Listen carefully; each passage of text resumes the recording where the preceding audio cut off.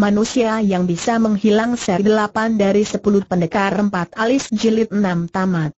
Bab 13 Yang bicara begitu pastilah seorang maha pintar, apakah kau ini manusia atau anjing betina, rasanya aku belum jelas benar. Aku cuma tahu satu hal, satu hal apa aku tahu kita masih hidup, paling sedikit sekarang masih hidup, dapat hidup berapa lama lagi asalkan dapat hidup lagi satu jam jauh lebih baik daripada kau hidup seribu tahun, kau salah kata si kuah daging mendadak. Oh Xiao Hang melengak. Bisa jadi kalian masih dapat hidup satu setengah hari lagi, Oh Xiao Hang merasa tidak mengerti. Pulau ini sangat besar, kata si kuah. Menurut perkiraan kami, Sedikitnya ada sekian ribu dan sekian ratus tempat yang dapat digunakan bersembunyi, dan, asalkan kalian dapat bersembunyi lebih dari satu setengah hari, mungkin juga kalian dapat hidup lagi satu setengah abad. Tiba-tiba si kuah daging menjengek, cuma sayang, kalian pasti tidak dapat bersembunyi, sebab apa tanya Xiao Hong? Sebab sekalipun kalian adalah dua ekor semut, dalam waktu setengah jam saja, dia pasti dapat menemukan dan memites mati kalian, kau atau dia Xiao Hang menegas. Dia Kyukomu itu ya sorot mata si kuah daging menampilkan rasa bangga dan sombong, bahkan dia bersedia memberi waktu setengah jam lebih dulu bagi kalian, care bagaimana memberinya mulai saat ini, selama setengah jam dia pasti takkan memburu kalian pasti, Mutlak pasti setiap patah katanya adalah seru papaku yang dipukulkan di dinding, satu paku satu titik dan tidak lebih, aku menjadi percaya juga padanya umpama engkau tidak percaya, orang yang tidur, di sampingmu itu tentunya percaya, mendadak suara si kuah daging berubah lembut. Sebab sebelum ini rasanya dia juga pernah tidur di samping Kilkoku, Xiao Hang tetap tenang dan tidak merasa tersinggung. Bila mana cinta itu memang murni yang didasari saling percaya, tidak sesuatu hal lagi di dunia ini yang dapat menggoyahkan pikiran mereka. Tapi kalau dikatakan sama sekali Liok Xiao Hang tidak marah, hal ini juga tidak betul. Sedikitnya air mukanya rada berubah juga. Si kuah daging tampak sedang tertawa. Inikah kata-kata yang sengaja hendak kau bicarakan padaku tanya Xiao Hang si kuah daging mengangguk. Baik, sudah ku dengar seluruhnya, sudah kau dengar seluruhnya setiap kata ya, apakah kau mau bertaruh denganku bertaruh apa? Tanya Xiao Hong? Aku berani bertaruh dalam waktu tiga jam Kyuko pasti dapat menemukan dirimu, lalu akan memites mati diriku seperti dia memites semut. Tepat kata si kuah daging minus 00 desir angin laut masih lembut, napas mereka juga tetap lembut, namun perasaan mereka sekarang sudah berbeda pedang Kiong Kiu, nama Kiu Xiaoya, dan caranya membunuh orang, tentu cukup diketahui dengan jelas oleh Samon.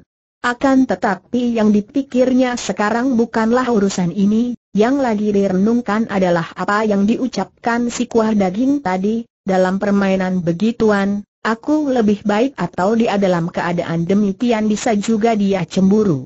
Padahal hal ini juga tidak perlu diherankan dalam keadaan dan di mana pun juga, untuk merenggut jiwa seorang perempuan bukanlah pekerjaan sulit, tapi jika kau minta seorang perempuan jangan cemburu, maka engkau lagi mimpi belaka.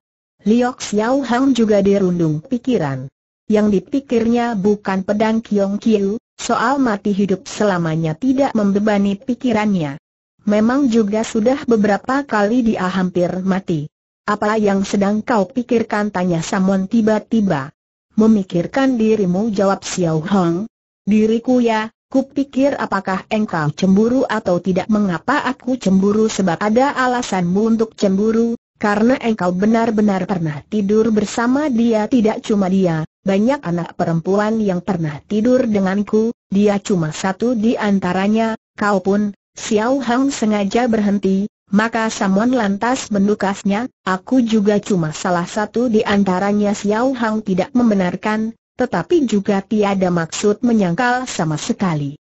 Samuan menatapnya hingga lama, lalu berkata pula, mengapa tidak kau tanya padaku apakah benar pernah tidur bersama Kiong Kiu tidak perlu kutanya, jawab Xiao Hong. Sebab tidak kau hiraukan soal ini bukan saja tidak menyangkal, bahkan Xiao Hang lantas mengangguk. Kembali Samon menatapnya sekian lama, tiba-tiba ia menghela napas dan berkata, jika kau kira aku belum memahami maksudmu, maka jelas kau salah sangka, kau tahu apa maksudku kau sengaja membuatku pergi dengan marah, kata Samon, kau kira asalkan ku tinggalkan dirimu, tentu aku dapat hidup lagi satu setengah abad Xiao Hang diam saja, tidak menyangkal juga tidak membenarkan. Cuma sayang, kau lupa sesuatu Xiao Hang tidak bertanya dan Samuan lantas meneruskan, seorang perempuan biarpun benar dapat hidup lagi satu setengah abad juga tidak banyak artinya, kan paling tidak jauh lebih banyak berarti daripada cuma hidup satu setengah hari itu kan jalan pikiranmu ujar Samon.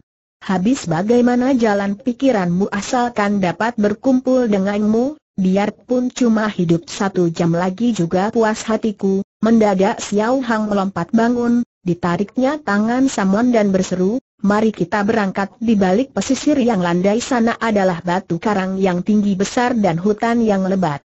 Di tempat seperti ini, seekor kelinci saja sangat mudah menghindarkan pengejaran seekor anjing pemburu. Tapi Liok Xiao Hang bukan kelinci, dia selain memiliki kecerdikan dan kegesitan serupa kelinci, juga punya kelicinan serupa rasa dan ketangkasan dan kesetiaan seperti anjing. Dia sendiri memang juga seorang pemburu. Teknik mencari hidup di tengah hutan atau rawa-rawa, dia jauh lebih paham daripada kebanyakan orang. Cuma dengan setangkai kayu saja dalam sekejap ia sanggup membuat sebuah perangkap pembunuh orang. Di tempat seperti ini, jika dia ingin menghindari pengejaran seorang sebenarnya bukan pekerjaan yang sulit. Akan tetapi orang itu sungguh bukan orang. Yang dimaksudkan Samon dengan sendirinya ialah Kiong Kiu. Dia boleh dikatakan seekor ular berbisa, seekor rase, seorang. Sesungguhnya dia itu apa tanya Xiao Hang dengan tenangnya. Kiu, iblis, ada yang bilang dia adalah gabungan dari sembilan macam barang, kesembilan macam barang apa upas ular berbisa, hati rase, es dari kutub utara, batu padas dari pegunungan Tian, ketangkasan singa, kekejaman serigala, ketekunan unta, kecerdasan manusia, lalu ditambah lagi dengan sukma setan dari neraka, meski Xiao Hang kelihatan lagi tertawa, tapi jelas tertawa yang tidak enak. Di pulau ini memang benar banyak terdapat tempat bersembunyi yang rahasia, berapa banyak yang kau ketahui kalau lima ribu tempat saja kukira lebih, dan berapa banyak yang diketahuinya setiap tempat pasti diketahuinya. Apa yang ku ketahui juga diketahuinya, tempat yang tidak ku ketahui juga tidak diketahuinya.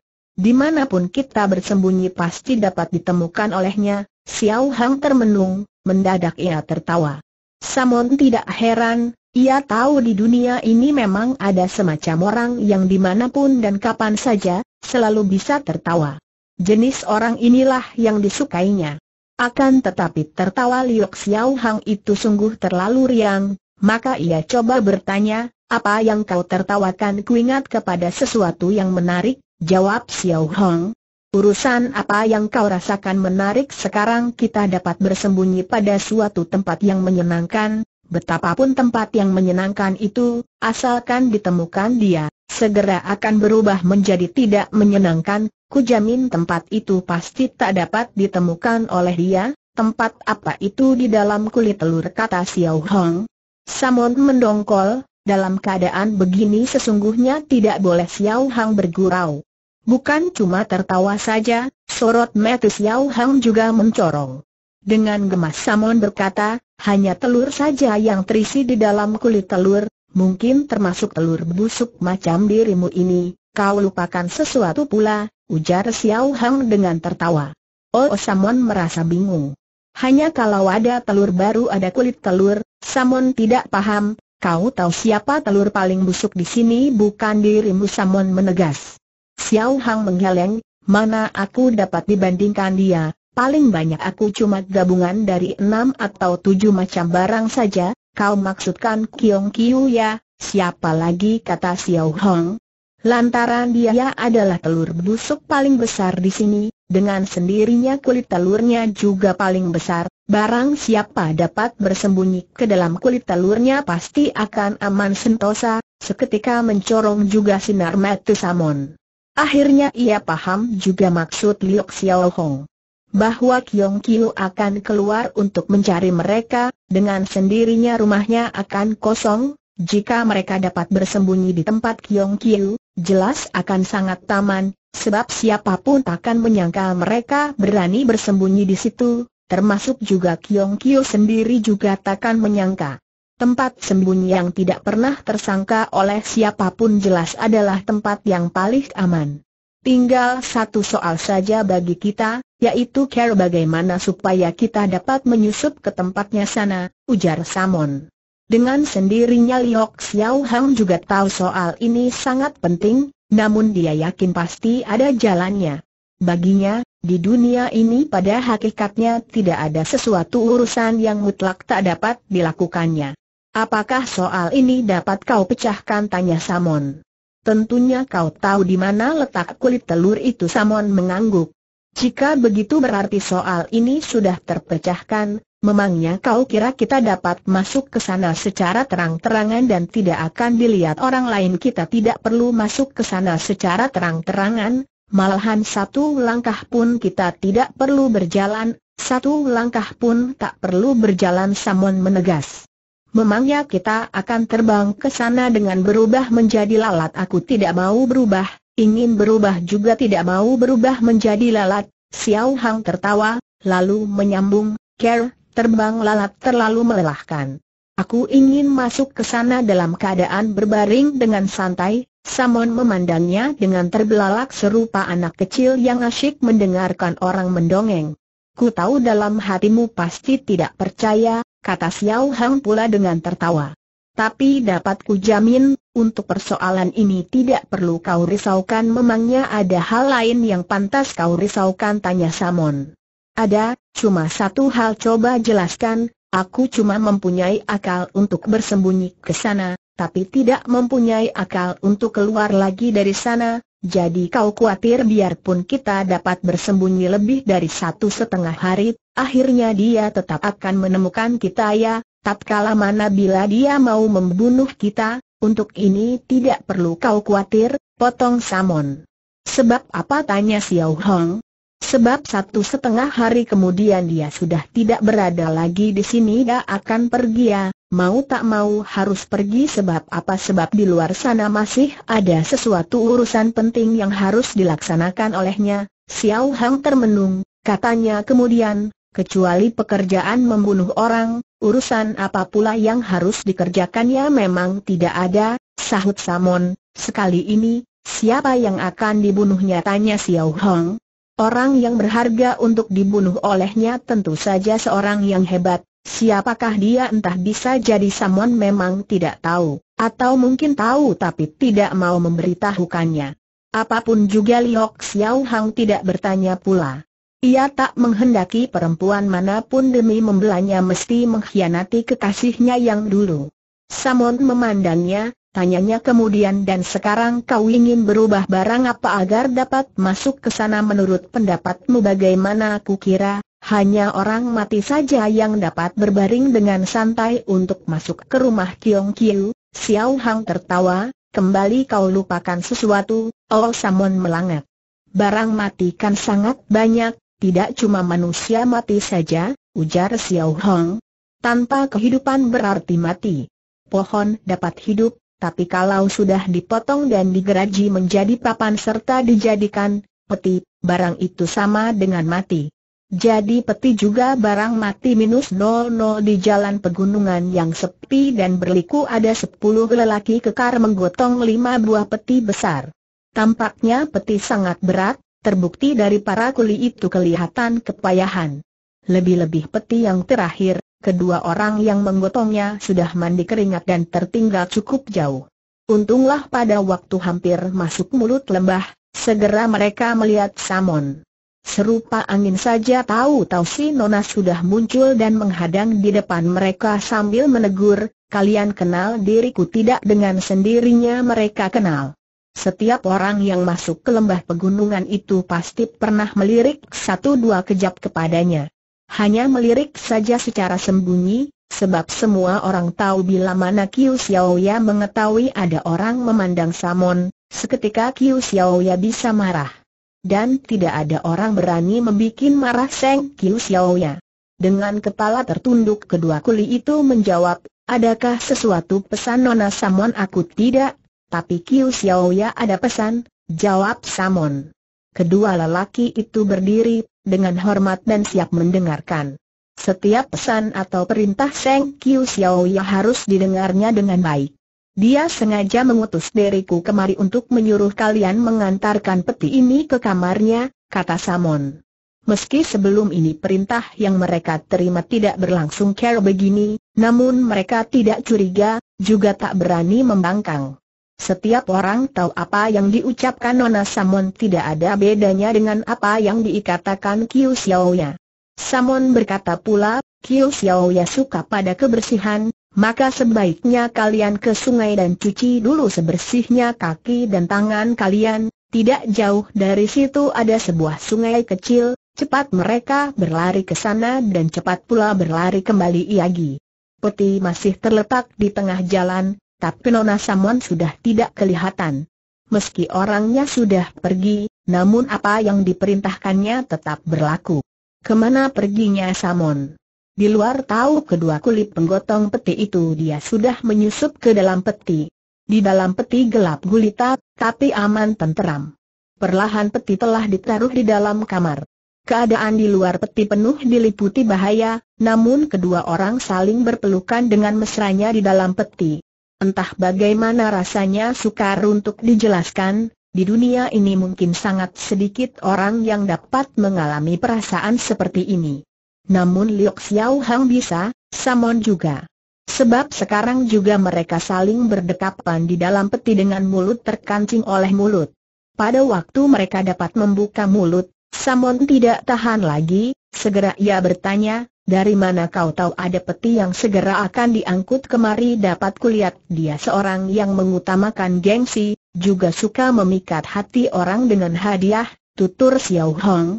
Sebelum orangnya tiba, lebih dulu dia telah mengirimkan beberapa peti hadiah, apalagi sesudah orangnya tiba di rumah dia baru pulang kemarin, Care bagaimana kau tahu petinya baru akan tiba hari ini orang-orang yang ikut dalam perjalanan dengan dia sekian lamanya, semua orang tentu sudah kesal dan ingin mencari pelampiasan, maka begitu kapal berlalu, segera semua kelasi naik ke darat, umpama tidak mencari perempuan pasti juga ingin minum sepuasnya.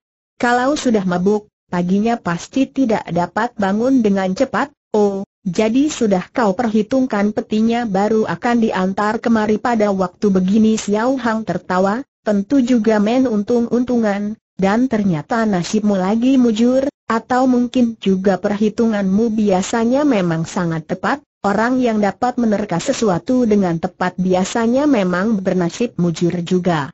Sebab hanya orang yang dapat memperhitungkan sesuatu dengan tepat dapat menggunakan setiap kesempatan yang ada dan kesempatan itu sendiri ialah kemujuran yang tidak boleh dilewatkan.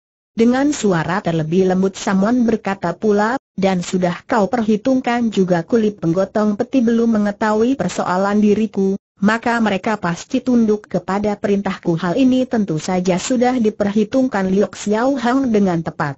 Jika urusan ini tidak disiarkan sendiri oleh Kiong Kiu, siapa pula yang berani menyiarkannya?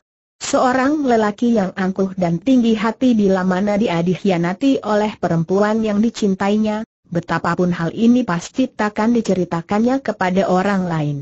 Dia lebih suka orang lain mengira dia yang meninggalkan perempuan itu, lebih suka orang lain menganggap dia yang tidak setia. Bahkan dia lebih suka mati daripada orang lain mengetahui penderitaan dan rasa malunya dan terhina. Liok Xiao Hang cukup maklum perasaan demikian, sebab ia sendiri juga lelaki jenis ini. Maka Samuan bertanya pula, tapi dari mana kau tahu petinya akan diantar ke sini dengan selamat? tanpa ditanyai orang di tengah jalan sebab dapat kulihat orang yang tinggal di sini tidak suka ikut campur urusan, lebih-lebih urusan tetek bengek begini Samuan menghela napas, Pandanganmu memang tepat, orang yang tinggal di sini, untuk setiap pekerjaan apa pun harus ada imbalannya, jika waktu peti diantar kemari tidak ada yang menegur, sesudah itu tentu saja terlebih tidak ada orang yang memperhatikannya. Dan kalau Kiong Kiu lagi memburu mereka di luar sana, saat ini tentunya tidak akan pulang. Peti sudah dibuat sebuah celah kecil, mereka masih tetap berdekapan erat di dalam peti. Mereka tidak mau terburu-buru keluar. Bila aku mati, tentu Raja Akhirat akan bertanya padaku pada inkarnasi yang akan datang mau menjadi apa kau pasti ingin menjadi ayam kecil, haha, jawaban yang tepat, Ucap Xiao Hang dengan tertawa. Peti ini memang sangat mirip kulit telur, berada di dalam kulit telur akan terasa aman, hangat dan manis. Ku yakin waktu anak ayam mau menetas, tentu mereka tidak mau cepat-cepat keluar dari kulit telur, kata Xiao Hang. Sebab apa tanya Samon? Sebab mereka tahu, sesudah keluar tentu tumbuh menjadi ayam dewasa dan menjadi ayam panggang, ayam rebus, ayam tim dan sebagainya, minus 00 menjelang petang dari kulit telur itu akhirnya menetas dua ekor anak ayam.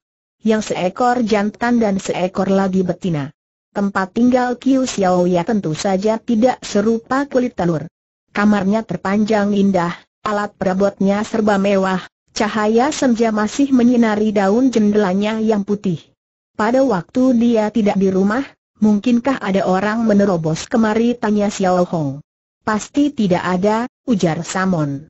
Selama ini belum pernah ada siapa pun yang berani menerobos ke tempat tinggal Kiu Xiao Ya, bahkan bapaknya juga tidak biasanya Kiu Xiao Ya suka menyendiri, tapi juga tinggi hati. Sebab itulah dia suka bercermin, tutur Samon. Sebab apa tanya Xiao Hong? Sebab satu-satunya orang yang benar-benar disukai olehnya ialah dirinya sendiri, di dalam kamar memang ada sebuah cermin besar, tertampak jelas dibuat oleh seorang ahli cermin, dibuat dari perunggu hijau dan tergosok mengkilap, zaman dahulu belum ada cermin kaca. Untuk membuat cermin sebesar dan seindah ini diperlukan sepasang tangan yang terampil dan mantap. Inilah cermin karyanya sendiri, ia anggap inilah cermin paling bagus nomor satu di dunia, tutur Samon. Di samping cermin tergantung sebilah pedang, batang pedang sempit panjang, berbentuk antik. Inilah pedangnya pada waktu dia pergi membunuh orang, pedangnya ternyata ditinggalnya di rumah. Nyata untuk membunuh orang dia tidak perlu memakai pedang lagi. Perlahan Xiao Hang meraba sarung pedang dengan jarinya, ucapnya, ku tahu masih ada satu orang, Ilmu pedangnya juga sudah terlatih hingga taraf tanpa pedang, Sebun Cui Soat tanya Samon. Kau pun tahu dia dengan hambar Samon menjawab, Aku tahu taraf tanpa pedang belum lagi mencapai puncaknya ilmu pedang yang paling tinggi, oh heran juga Xiao Hong. Jika yang dilatih adalah ilmu pedang, kenapa mesti mempersoalkan berpedang atau tak berpedang belum lagi Xiao Hang menanggapi, Mendadak terdengar di bawah tempat tidur ada orang berkeplok. Suara keplokan tangan sangat perlahan, tapi jauh lebih mengejutkan orang daripada bunyi geledek waktu Xiao Hang berpaling. Dilihatnya sebuah kepala gundul menongol dari kolong ranjang. Losit Hosyo baru saja Xiao Hang sempat bersuara, tahu-tahu sinar pedang berkelebat, kuduk Losit Hosyo sudah dipalangi sebilah pedang panjang mengkilat. Cepat amat gerak pedangnya. Pedang yang tergantung di samping cermin besar itu sudah terlolos dari sarungnya, sudah terpegang oleh Samon. Betapa cepat Care, turun tangannya membuat Liok Xiao Hang terkejut juga. Tentu saja Lo Sit terlebih kaget daripada Xiao Hang, mukanya sampai pucat, cepat ia berseru sambil menyengir, padahal tanpa turun tangan juga Hosio tahu Nona adalah ahli pedang perempuan nomor satu di dunia, hektometer, Kau tahu jengek Samon. Biarpun Hosio tidak pernah makan daging babi, sedikitnya pernah melihat care babi berjalan, ujar Losit Hosio. Setelah mendengar uraian Nona tadi, sungguh Hosio kagum dan takluk lahir batin, hah, kiranya Hosio Alim juga suka menjilat pantat, seru Xiao Hang dengan tertawa. Hosio tidak menjilat pantat, Hosio selalu bicara jujur, Samon tidak tertawa, katanya dengan menarik muka, cuma sayang biasanya Nona tidak suka mendengar kata-kata jujur, Nona suka mendengarkan apa tanya Losit Hwasyo. Nona suka mendengar ucapan menjilat mata Losit berkedip-kedip, meski Hwasyo tidak dapat menjilat, tapi pekerjaan lain banyak yang kupahami, kau paham apa lagi? Tanya Samon. Umpamanya menjadi comblang dan mencarikan jodoh bagi orang, semua ini adalah keahlian Hwasyo, kau mau menjadi comblang dan mencarikan jodoh bagi siapa? Bagi dua ekor anak ayam, yang satu jantan dan yang lain betina, akhirnya Samon tertawa juga. Pada saat dia tertawa itulah selicin belut Losit Hwasyo meluncur keluar di bawah pedang si Nona, dan begitu melompat bang angin laut mendesir hangat dan agak lembat, ombak perlahan mendampar pantai. Napas mereka tidak sehangat dan selembut desir angin laut. Napas mereka agak memburu, terengah, serupa jantung mereka yang berdepak keras. Mengapa engkau berdosa dan mengapa engkau memaksa kepergianku sebab ingin ku uji dirimu, namun ku yakin engkau pasti akan kembali, semua itu tidak ditanyakan mereka, juga tidak perlu dijawab. Semua itu tidak perlu penjelasan lagi. Yang dilakukan mereka sekarang adalah jawaban yang paling baik, berada di antara kekasih yang dicintainya, dengan hati yang murni selamanya tidak ada penjelasan yang lebih baik daripada ini. Gubuk kecil ini adalah istana mereka, di dalam istana mereka hanya ada damai, hanya ada cinta. Segala macam kekasaran dan keburukan di dunia ini seakan-akan sudah berjarak sangat jauh dengan mereka. Akan tetapi mereka keliru. Pada saat itu juga istana mereka, istana cinta, mendadak ambruk dan menjatuhi tubuh mereka. Liok Xiao Hang tidak bergerak, Samon juga tidak. Mereka tetap berpelukan dengan erat, seakan-akan biarpun langit ambruk dan menimbrihi tubuh mereka juga tidak dihiraukan, sebab mereka sudah mendapatkan apa yang diharapkan selama hidup ini, yaitu cinta, cinta yang murni mereka telah saling mengisi bagi kepuasan masing-masing. Bahkan mereka tidak mendengar suara di luar, bukannya tidak mendengar sungguh-sungguh, melainkan mereka memang tak ingin mendengarkan. Suara ini memang paling tidak suka didengar mereka. Bagi mereka, hampir tidak ada sesuatu suara di dunia ini terlebih menusuk telinga daripada suara ejekan si kuah daging alias si tawon. Dan sekarang suara yang berkumandang itu justru suara tertawa dingin si kuah daging bukan cuma tertawa dingin saja, si kuah daging juga sedang bicara. Apa yang diucapkannya terlebih tajam dan menusuk telinga daripada suara tertawa dinginnya, bahkan dia juga bertepuk tangan dan bersorak, nah, bagus, bagus sekali, apabila kungfu kalian ada setengahnya permainan kalian tadi, pasti tak ada seorang pun sanggup bertahan, Akhirnya Liok Xiao Hang menghela napas dan disingkirkannya rumput yang menutupi wajahnya. Terlihat si kuah daging sedang memandangnya dengan sorot mata yang penuh rasa benci dan dengki. Engkau baik sapa Xiao Hang? Aku tidak baik, jawab si kuah daging ketus. Jawaban yang jujur, engkau ini memang terlalu tidak baik, ujar Xiao Hang dengan tertawa. Dari tertawa dingin mendadak si kuah daging tertawa genit, katanya, Aku cuma minta kau bicara sepatah kata saja berdasarkan hati nuranimu, bicara apa dalam hal begituan, aku lebih baik atau dia kalian tidak dapat dibanding-bandingkan, sebab apa? Sebab care berbuat begituan ada dua macam, dua macam apa? Yang semacam ialah manusia, satu lagi adalah binatang, tertawa genit si kuah daging berubah kembali menjadi dingin, jika manusianya mati lalu bagaimana? Aku masih ingat ucapan seorang bahwa seribu orang mati juga tidak dapat membandingi seekor anjing betina hidup, yang bicara begitu pastilah seorang maha pintar, apakah kau ini manusia atau anjing betina, rasanya aku belum jelas benar. Aku cuma tahu satu hal, satu hal apa? Aku tahu kita masih hidup, paling sedikit sekarang masih hidup, dapat hidup berapa lama lagi asalkan dapat hidup lagi satu jam jauh lebih baik daripada kau hidup seribu tahun, kau salah kata si kuah daging mendadak. Oh Xiao Hang melengak. Bisa jadi kalian masih dapat hidup satu setengah hari lagi, Oh Xiao Hang merasa tidak mengerti. Pulau ini sangat besar, kata si Kuah. Menurut perkiraan kami, sedikitnya ada sekian ribu dan sekian ratus tempat yang dapat digunakan bersembunyi, dan, asalkan kalian dapat bersembunyi lebih dari satu setengah hari, mungkin juga kalian dapat hidup lagi satu setengah abad. Tiba-tiba si kuah daging menjengek, cuma sayang, kalian pasti tidak dapat bersembunyi, sebab apa tanya Xiao Hong? Sebab sekalipun kalian adalah dua ekor semut, dalam waktu setengah jam saja, dia pasti dapat menemukan dan memites mati kalian, kau atau dia Xiao Hang menegas. Dia Kyukomu itu ya sorot mata si kuah daging menampilkan rasa bangga dan sombong, bahkan dia bersedia memberi waktu setengah jam lebih dulu bagi kalian, care bagaimana memberinya mulai saat ini, selama setengah jam dia pasti takkan memburu kalian pasti, mutlak pasti setiap patah katanya adalah serupa paku yang dipukulkan di dinding, satu paku satu titik dan tidak lebih, Aku menjadi percaya juga padanya umpama engkau tidak percaya, orang yang tidur, di sampingmu itu tentunya percaya, mendadak suara si kuah daging berubah lembut. Sebab sebelum ini rasanya dia juga pernah tidur di samping Kilkoku, Xiao Hang tetap tenang dan tidak merasa tersinggung.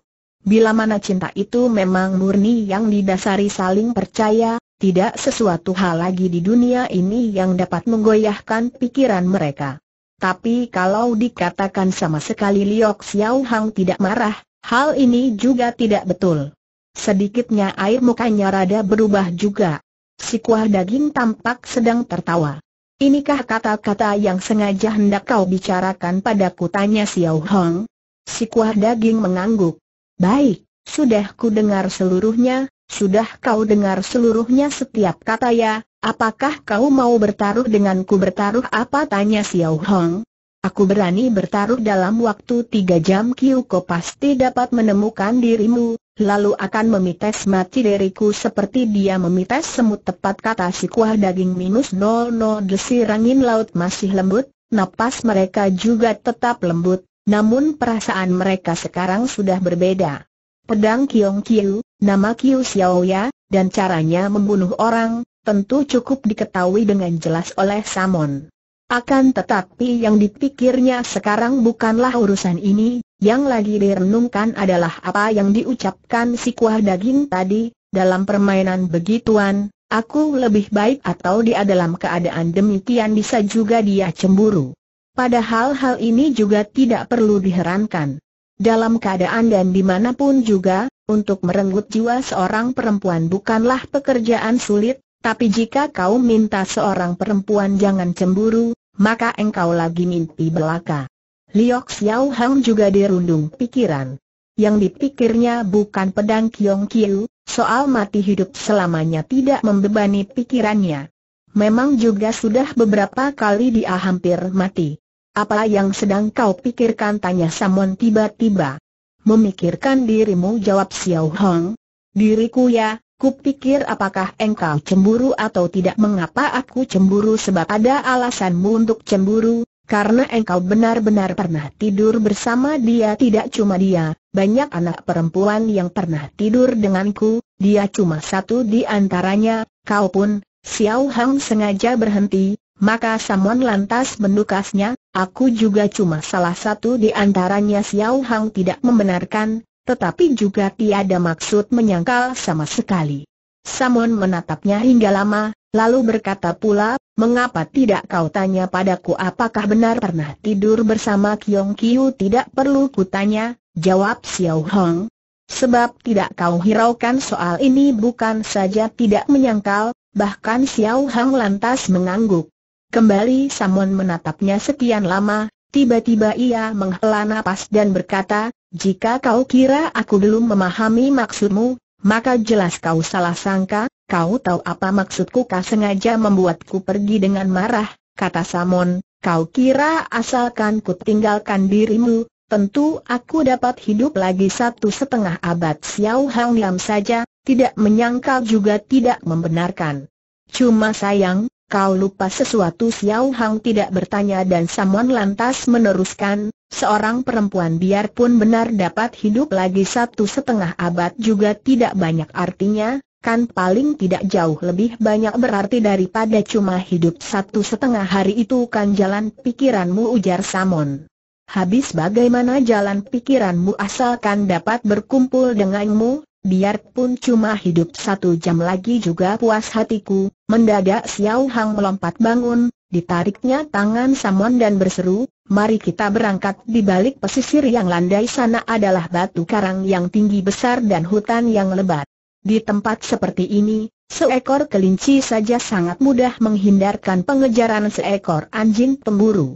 Tapi Liok Xiao Hang bukan kelinci, dia selain memiliki kecerdikan dan kegesitan serupa kelinci, juga punya kelicinan serupa rasa dan ketangkasan dan kesetiaan seperti anjing. Dia sendiri memang juga seorang pemburu. Teknik mencari hidup di tengah hutan atau rawa-rawa, dia jauh lebih paham daripada kebanyakan orang. Cuma dengan setangkai kayu saja dalam sekejap ia sanggup membuat sebuah perangkap pembunuh orang. Di tempat seperti ini, jika dia ingin menghindari pengejaran seorang sebenarnya bukan pekerjaan yang sulit. Akan tetapi orang itu sungguh bukan orang. Yang dimaksudkan Samon dengan sendirinya ialah Kiong Kiu.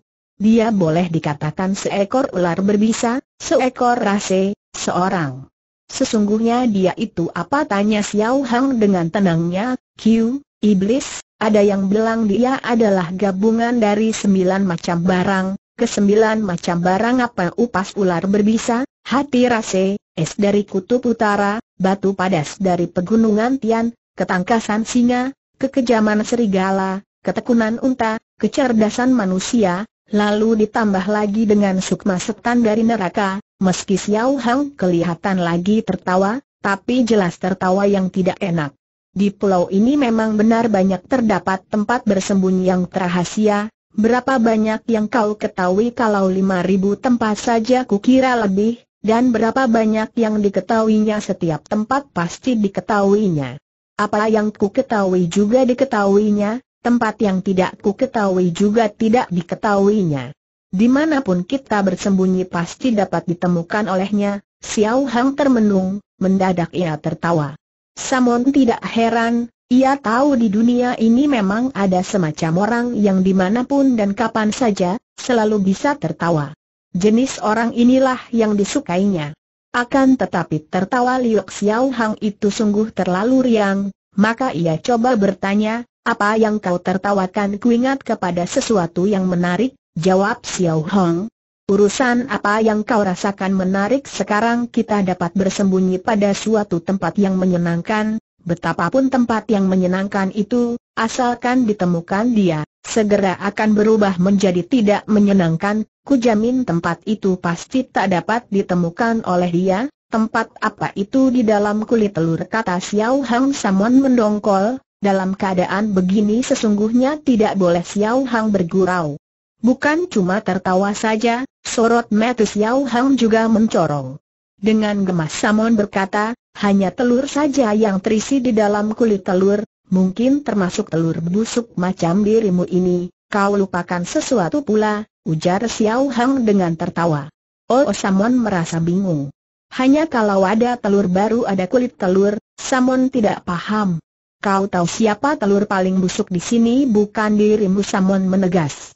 Xiao Hang menggeleng, mana aku dapat dibandingkan dia, paling banyak aku cuma gabungan dari enam atau tujuh macam barang saja, kau maksudkan Kiong Kiu ya, siapa lagi? kata Xiao Hang, Lantaran dia adalah telur busuk paling besar di sini, dengan sendirinya kulit telurnya juga paling besar, barang siapa dapat bersembunyi ke dalam kulit telurnya pasti akan aman sentosa, seketika mencorong juga sinar mata Samon. Akhirnya ia paham juga maksud Liok Xiao Hong. Bahwa Kiong Kiu akan keluar untuk mencari mereka, dengan sendirinya rumahnya akan kosong, jika mereka dapat bersembunyi di tempat Kiong Kiu, jelas akan sangat taman, sebab siapa pun takkan menyangka mereka berani bersembunyi di situ, termasuk juga Kiong Kiu sendiri juga takkan menyangka. Tempat sembunyi yang tidak pernah tersangka oleh siapa pun jelas adalah tempat yang paling aman. Tinggal satu soal saja bagi kita, yaitu care bagaimana supaya kita dapat menyusup ke tempatnya sana, ujar Samon. Dengan sendirinya Liok Xiao Hang juga tahu soal ini sangat penting, namun dia yakin pasti ada jalannya. Baginya, di dunia ini pada hakikatnya tidak ada sesuatu urusan yang mutlak tak dapat dilakukannya, apakah soal ini dapat kau pecahkan tanya Samon. Tentunya kau tahu di mana letak kulit telur itu Samon mengangguk. Jika begitu berarti soal ini sudah terpecahkan, Memangnya kau kira kita dapat masuk ke sana secara terang-terangan dan tidak akan dilihat orang lain kita tidak perlu masuk ke sana secara terang-terangan, malahan satu langkah pun kita tidak perlu berjalan, satu langkah pun tak perlu berjalan Samon menegas. Memangnya kita akan terbang ke sana dengan berubah menjadi lalat aku tidak mau berubah, ingin berubah juga tidak mau berubah menjadi lalat, Xiao Hang tertawa, lalu menyambung, Care, terbang lalat terlalu melelahkan. Aku ingin masuk ke sana dalam keadaan berbaring dengan santai, Samon memandangnya dengan terbelalak serupa anak kecil yang asyik mendengarkan orang mendongeng. Ku tahu dalam hatimu pasti tidak percaya, kata Xiao Hang pula dengan tertawa.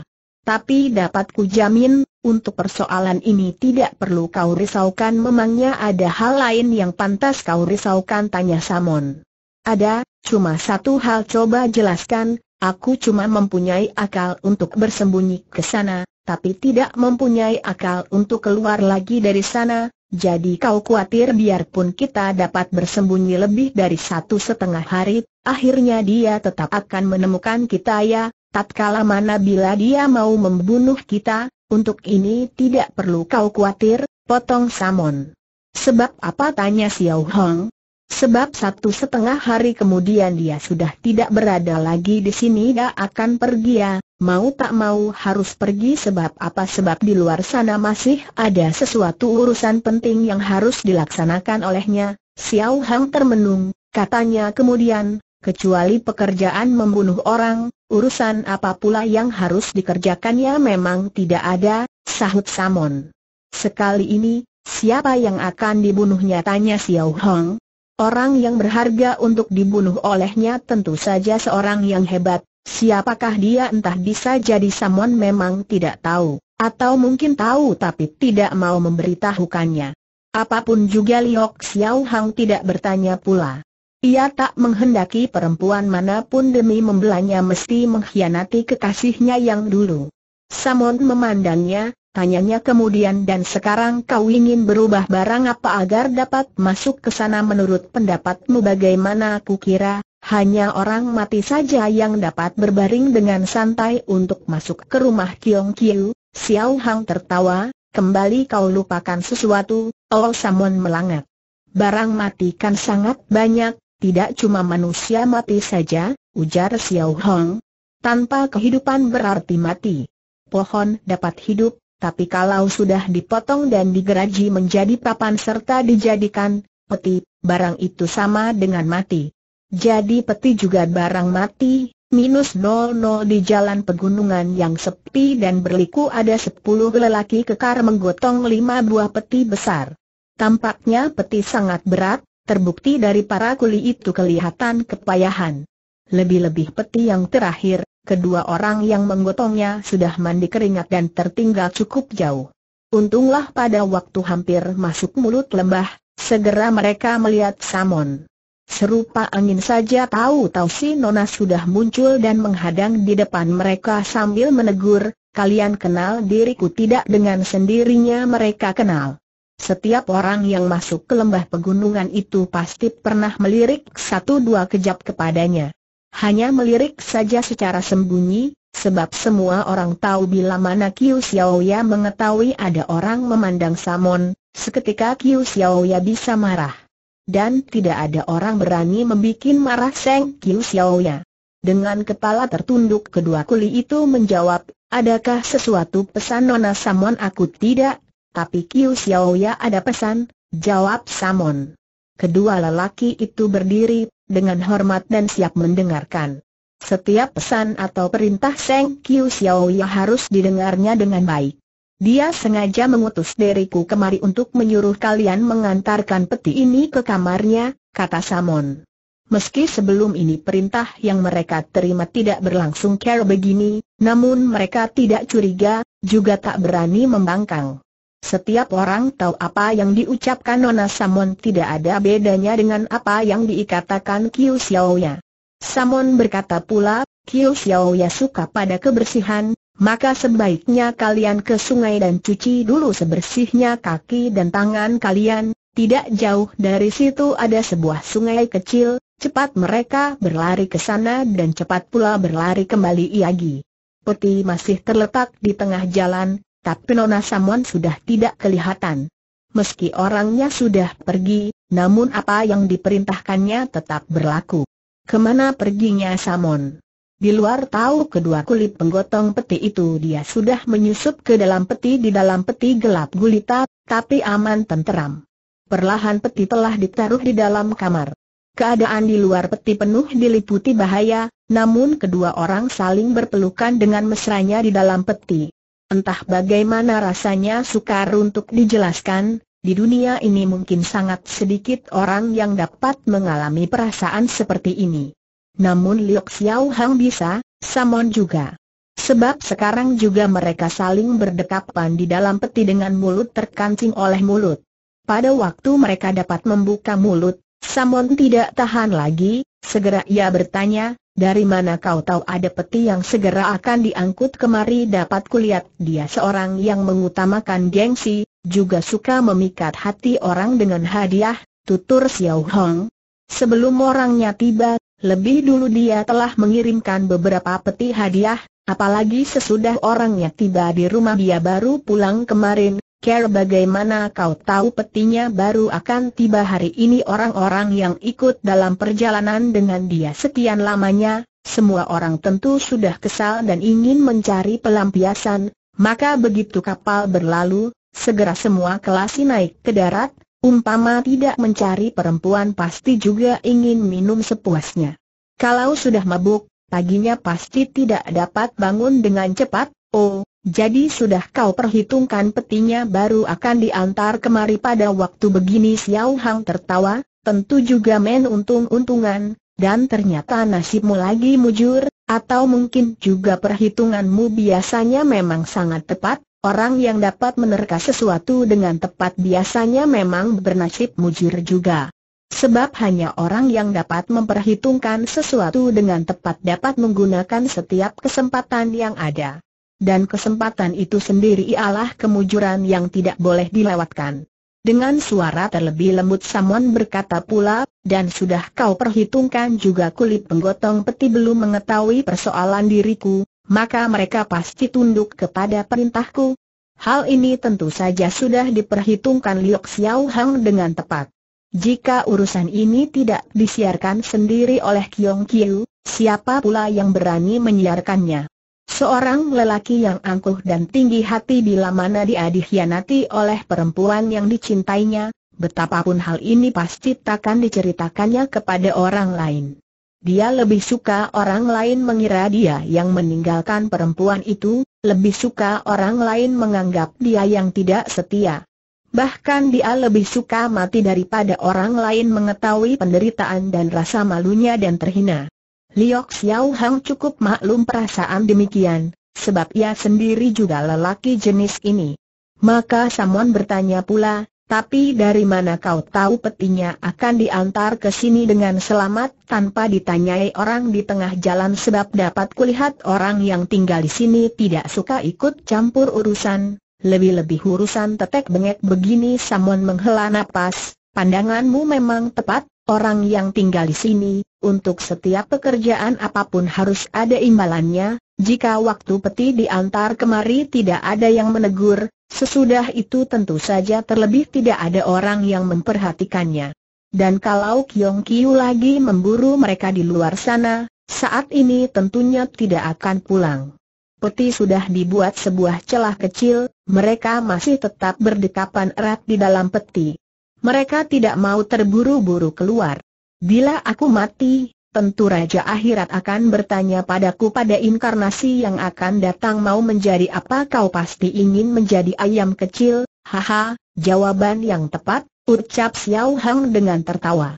Peti ini memang sangat mirip kulit telur, berada di dalam kulit telur akan terasa aman, hangat dan manis. Ku yakin waktu anak ayam mau menetas, tentu mereka tidak mau cepat-cepat keluar dari kulit telur, kata Xiao Hong. Sebab apa tanya Samon? Sebab mereka tahu, sesudah keluar tentu tumbuh menjadi ayam dewasa dan menjadi ayam panggang, ayam rebus, ayam tim dan sebagainya, minus 00 menjelang petang dari kulit telur itu akhirnya menetas dua ekor anak ayam. Yang seekor jantan dan seekor lagi betina. Tempat tinggal Kiu Xiao ya tentu saja tidak serupa kulit telur. Kamarnya terpanjang indah, alat perabotnya serba mewah, cahaya senja masih menyinari daun jendelanya yang putih. Pada waktu dia tidak di rumah, mungkinkah ada orang menerobos kemari tanya Xiao Hong. Pasti tidak ada, ujar Samon. Selama ini belum pernah ada siapa pun yang berani menerobos ke tempat tinggal Kiu Xiaoya, bahkan bapaknya juga tidak. Biasanya Kiu Xiaoya suka menyendiri, tapi juga tinggi hati. Sebab itulah dia suka bercermin, tutur Samon. Sebab apa tanya Xiao Hong? Sebab satu-satunya orang yang benar-benar disukai olehnya ialah dirinya sendiri, di dalam kamar memang ada sebuah cermin besar, tertampak jelas dibuat oleh seorang ahli cermin, dibuat dari perunggu hijau dan tergosok mengkilap. Zaman dahulu belum ada cermin kaca. Untuk membuat cermin sebesar dan seindah ini diperlukan sepasang tangan yang terampil dan mantap. Inilah cermin karyanya sendiri, ia anggap inilah cermin paling bagus nomor satu di dunia, tutur Samon. Di samping cermin tergantung sebilah pedang, batang pedang sempit panjang, berbentuk antik. Inilah pedangnya pada waktu dia pergi membunuh orang, pedangnya ternyata ditinggalnya di rumah. Nyata untuk membunuh orang dia tidak perlu memakai pedang lagi.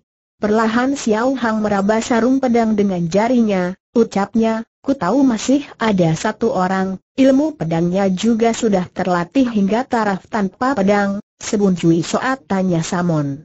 Kau pun tahu dia dengan hambar Samon menjawab, Aku tahu taraf tanpa pedang belum lagi mencapai puncaknya ilmu pedang yang paling tinggi, oh heran juga Xiao Hong. Jika yang dilatih adalah ilmu pedang, kenapa mesti mempersoalkan berpedang atau tak berpedang belum lagi Xiao Hang menanggapi, mendadak terdengar di bawah tempat tidur ada orang berkeplok. Suara keplokan tangan sangat perlahan, tapi jauh lebih mengejutkan orang daripada bunyi geledek. Waktu Xiao Hang berpaling, dilihatnya sebuah kepala gundul menongol dari kolong ranjang. Lo Hosyo baru saja Xiao Hang sempat bersuara, tahu-tahu sinar pedang berkelebat, kuduk Lo Hosyo sudah dipalangi sebilah pedang panjang mengkilat. Cepat amat gerak pedangnya. Pedang yang tergantung di samping cermin besar itu sudah terlolos dari sarungnya, sudah terpegang oleh Samon, betapa cepat Care, turun tangannya membuat Liok Xiao Hang terkejut juga. Tentu saja Lo Sit Hosio terlebih kaget daripada Xiao Hang, mukanya sampai pucat, cepat ia berseru sambil menyengir, padahal tanpa turun tangan juga Hosio tahu Nona adalah ahli pedang perempuan nomor satu di dunia, hektometer, kau tahu jengek Samon. Biarpun Hosio tidak pernah makan daging babi, Sedikitnya pernah melihat care babi berjalan, ujar Losit Hwasyo. Setelah mendengar urayan Nona tadi, sungguh Hwasyo kagum dan takluk lahir batin, hah, kiranya Hwasyo Alim juga suka menjilat pantat, seru Xiao Hang dengan tertawa. Hwasyo tidak menjilat pantat, Hwasyo selalu bicara jujur, Samon tidak tertawa, katanya dengan menarik muka, Cuma sayang biasanya Nona tidak suka mendengar kata-kata jujur, Nona suka mendengarkan apa tanya Losit Hosio, Nona suka mendengar ucapan menjilat mata Losit berkedip-kedip, meski Hosio tidak dapat menjilat, tapi pekerjaan lain banyak yang kupahami, kau paham apa lagi? Tanya Samon.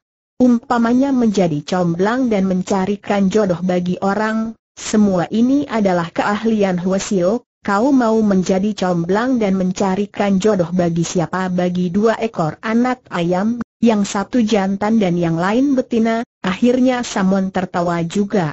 Pada saat dia tertawa itulah selicin belut Losit Hosio meluncur keluar di bawah pedang si Nona, dan begitu melompat bangun segera sembunyi di belakang Liok Xiao Hong, katanya, kau si ayam jantan kecil ini kalau tidak mau mengawini ayam betina kecil itu, aku Hosio orang pertama yang keberatan, siapa bilang aku tidak mau tanya Xiao Hong? Benar kau mau Losit menegas. Xiao Hang tidak menghiraukannya, ia pandang Samon dengan tenang. Kring, pedang Samon terjatuh, kedua orang mendadak berangkulan menjadi satu. Losit Hosio memandangi mereka dengan menyengir, seperti tertawa juga segerti mau menangis, ia berkomat kamit, mengapa Hosio tidak mau menjadi ayam jantan, tapi Hosio justru suka menjadi Hosio di dalam rumah ternyata tidak ada arak, setetes saja tidak ada. Losit Hosio menghela napas gegetun, di rumah seorang lelaki kalau tidak tersedia setetes sarak pun, lalu terhitung lelaki macam apakah orang ini orang yang tidak minum arak sama sekali bukan lelaki kata Xiao Hong. Umpama dia sendiri tidak suka minum, sepantasnya dia menyediakan sedikit untuk menyuguh tetamunya, ujar Losit Hosio. Apakah Hosio juga ingin minum arak tanya Samon? Cuma ingin minum setetes saja arak macam apa arak bahagia kalian Samon tersenyum, Xiao Hang juga tertawa. Tiba-tiba mereka merasa Hosyo ini memang jujur dan menyenangkan. Sebenarnya tidak tersedia arak juga sama saja, kata Losit Hosyo pula, asalkan Hosyo menelan air liur sendiri, kan dapat dianggap seperti sudah minum arak pernikahan kalian. Habis bicara dia benar-benar menelan air liur sendiri, lalu menyambung, nih, sudah ku minum arak bahagia kalian, mau tidak mau kalian harus kawin sekarang. Samon berpaling dan bertanya pada Liok Xiao Hong, bagaimana, boleh menolak atau tidak? Tidak boleh jawab Xiao Hong. Kedua orang lantas saling dekap lagi menjadi satu. Kembali Losit Hosyo menyengir seperti mau menangis, ucapnya, care perbuatan kalian ini, Apakah sengaja hendak memancing supaya Hosio hidup kembali lagi ke dunia ramai minus 00 sudah jauh malam. Di dalam rumah ada lampu, tapi tidak dinyalakan, juga tidak boleh dinyalakan. Xiao Hang tidak menghiraukan, Samon juga tidak ambil pusing, kalau ada cinta sejati, biarpun tanpa bulan dan bintang juga tidak menjadi soal, kenapa meski memikirkan cahaya lampu. Tentu saja Lo Sit Hosyo juga tidak peduli. Kebetulan malah baginya supaya tidak melihat sesuatu, sebab di dalam rumah memang sangat gelap dan tidak terlihat apa pun. Apa yang sedang kalian lakukan? Tanya Lo Sit Hosyo tiba-tiba. Tidak melakukan apa-apa jawab Xiao Hong. Apakah mulutmu ada peluang? Tanya Lo Sit pula. Ada Samon mendahului menjawab, jika ada peluang, dapatkah bicara dengan Hosio? Mengobrol iseng dapat, jawab Samon. Mengapa Hwasyo bisa bersembunyi di kolong tempat tidur? Tanya Xiao Hang tiba-tiba. Sebab Hwasyo tahu, yang mempunyai kamar itu meski tidak suka minum arak, tapi suka minum cuka, artinya cemburu EHM. Hwasyo memang tidak bodoh Hwasyo justru amat pintar, tukas Samon. Sebaliknya anak ayam yang terlalu tidak pintar, kata Losit Hwasyo. Dalam hal apa tidak pintar tanya Xiao Hong. Anak ayam mestinya dapat menyuruh kedua orang dogol itu menggotong peti ini kembali ke atas kapal, dengan begitu dalam beberapa hari saja kedua ekor anak ayam kan dapat pulang ke rumah Xiao Hang melenggong, Samon juga terkesima. Segera mereka merasakan apa yang diuraikan si Hwasyo memang merupakan kesempatan yang paling baik untuk meninggalkan tempat ini. Tapi urusan sudah terlanjur, sekali kehilangan kesempatan, kesempatan itu takkan datang lagi. Losit Hosho menghela napas, katanya pula, dua ekor anak ayam dan seekor keledai gundul, kata olok-olok bagi Hwasyo, jika semuanya mati di sini, rasanya akan, mendadak ucapannya terhenti. Liok Xiao Hang juga lantas melompat bangun, Samon tidak bergerak, namun jantungnya berdebar keras. Kiranya mereka mendengar ada suara langkah orang di luar, langkah kaki beberapa orang, dari suaranya jelas sedang menuju ke kamar ini. Ada cahaya lampu menembus celah pintu, makin lama makin terang. Cepat Xiao Hang melompat ke sana dan menyingkap tutup peti, desisnya, lekas bersembunyi lagi ketika Samuan sudah masuk ke dalam peti, barulah Xiao Hang sendiri bersembunyi juga di dalam peti dan perlahan menurunkan tutup peti. Pada saat itulah pintu pun terbuka didengarnya suara pintu menguak dan suara orang melangkah masuk, seluruhnya ada lima orang. Orang pertama yang bicara adalah seorang perempuan, nadanya sangat galak, Siapa yang menyuruh kalian menggotong peti ini ke sini hati Xiao Hang berdetak. Dapat dikenalinya suara Xiao Giok. Ia percaya pribadi Xiao Giok tidak jahat, tapi pertanyaannya itu sungguh konyol. Atas perintah Nona Mon yang menjawab adalah satu di antara kedua kulit penggotong peti tadi. Nona Mon jengek Xiao Giok, kalian tunduk kepada perintah Kiu Xiao ya atau tunduk kepada Nona Mon tidak ada yang berani menjawab. Apakah kalian tidak tahu Nona Mon bukan lagi tunangan Kiu Xiao ya suara Xiao Giok bertambah galak. Hati Liok Xiao Hang juga tambah tenggelam. Sungguh ia tidak paham, urusan ini jelas tidak diketahui siapa pun, mengapa budak cilik ini dapat mengetahuinya. Padahal budak cilik ini baru saja lolos dari kematian, kenapa mesti ikut campur lagi urusan orang lain? Sungguh kalau bisa Liok Xiao Hang ingin menjahit mulut budak cilik itu. Bawa pergi terdengar Xiao Giok berteriak. Lekas gotong pergi lagi peti ini gotong ke mana asalnya dari mana, gotong kembali ke sana setelah mendengar ucapan terakhir ini segera Liok Xiao Hang menyadari prasangkanya yang salah.